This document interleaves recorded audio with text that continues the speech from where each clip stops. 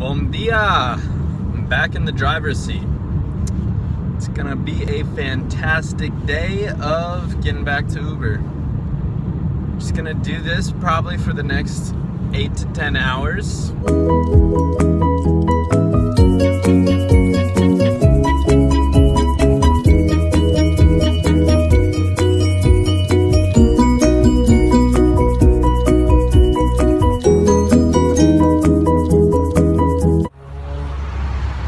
We're out here at Dana Beach getting some sun.